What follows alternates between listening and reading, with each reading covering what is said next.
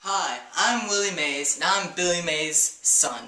And I'm here for you today with the new and approved spray and wash. It's here for all of your laundry needs. And if you ever gotten grape jelly on your socks, I know I have.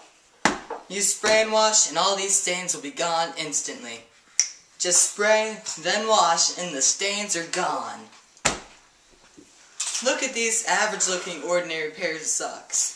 You know, anytime, these could just be covered in jelly. Imagine you're just trying to put jelly on your toast.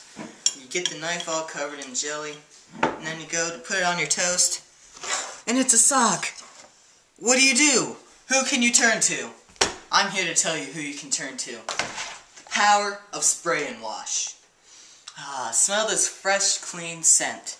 Just put a little bit on those stains and wash them, and it'll just be gone instantly.